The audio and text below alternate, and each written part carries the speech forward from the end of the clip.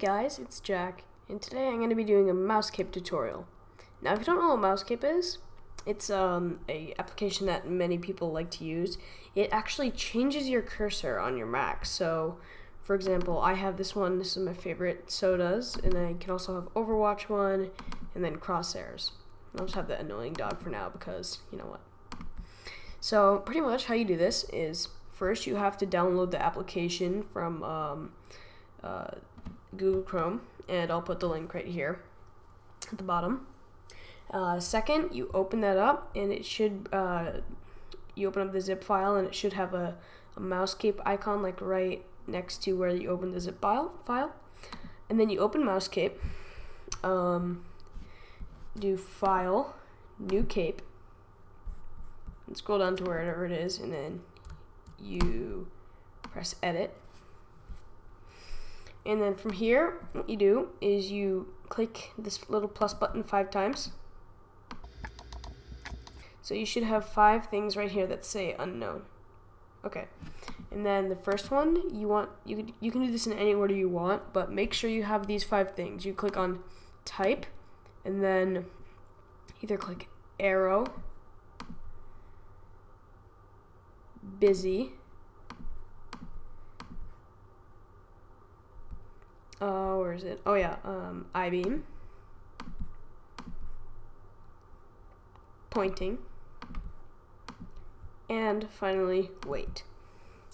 And now what you do for these things is you find any picture you want. So for example, uh, I'll just have a picture of that, and then um, what you do is you drag it into here and then into the 1x thing and then you do that for all of these but if you want to have different cursors for different kinds of things um, so I-beam is the one that looks like this. It's the one where you can like edit text. It's one that looks a lot like an eye. Um, pointing is when you want to open a link.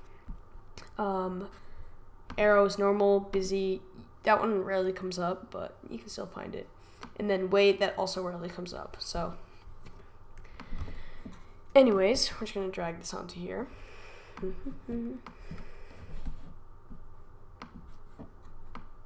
oops. And then after, oops. And then after that, see this thing that says hotspot? What you want to do here is, so if you type in like some random coordinates, say like I did 25, 25. I don't see where the thing is, but uh, no, no, know, I'll put it there. Okay, so you can see it better here. So you see this little red dot right on the edge? You want this to be wherever you want um, the pointer to be. So like, you want you if you, if it was just like a normal pointer, you'd want it to be at the tip of your pointer. Uh, so see like on the soda can one, I have my hotspot right here. And the way you do that is you type in the coordinates. So I'll just do, uh, say I wanted it right here in the middle.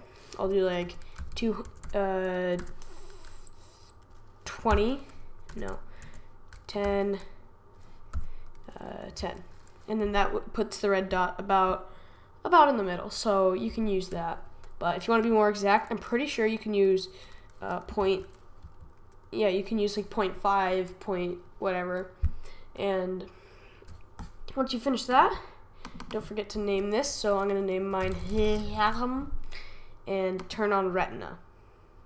And then what you gotta do, you gotta save it, and then double click on it, and then you, then you, it should be uh, about about good. So that's how you um, install Mousecape and use it. And thank you for watching. How do I press this? Mm. Thank you for watching.